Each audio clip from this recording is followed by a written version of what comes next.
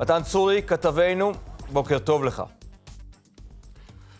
בוקר אה, טוב, אטילה. כן, אז uh, באמת, uh, במשך שבועות ארוכים, תושבי הדרום נשאו עיניהם אל מה שקורה בירושלים וביהודה ושומרון מתוך הבנה שבאמת מתישהו רצועת עזה יכולה אה, גם כן להיכנס ללופ הזה של המתיחות הביטחונית ואכן אתמול בלילה אה, זה קורה, הג'יהאד האיסלאמי משגר רקטה לאזור המועצה האזורית אשכול, אזעקות מופעלות בשני יישובים בעין השלושה וכיסופים וסוללת כיפת ברזל מיירטת את הרקטה. אה, ובכך נגמר למעשה האירוע הזה, לפחות בגזרה של אה, עוטף עזה, מייצר הרבה מאוד אה, בהלה, אבל בסך הכל נגמר כמובן ללא נפגעים.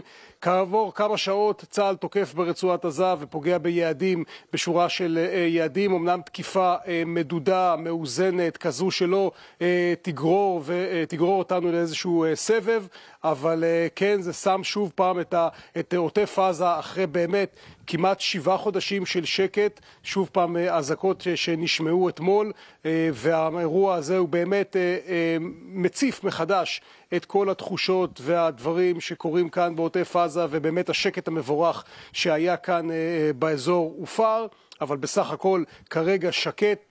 להבנה של היישובים בעוטף עזה וגם המסרים שמועברים בצבא, אה, מהצבא אל היישובים זה שכנראה מדובר בירי של הג'יהאד האיסלאמי, ירי שיש בו איזשהו מסר של אה, ג'יהאד איסלאמי שהמטרה שלו כמובן להגיד אנחנו כאן, אנחנו נמצאים ברצועת עזה, אנחנו אה, יכולים גם להשפיע על הגזרה הזאת וזה כנראה הסיבה לירי שבוצע אתמול. ההערכה היא שכרגע לפי איך שזה נראה ארגון חמאס לא מתכוון להיכנס ל... אה, לאירוע פה בדרום, אבל אה, בהחלט המתיחות היא גבוהה.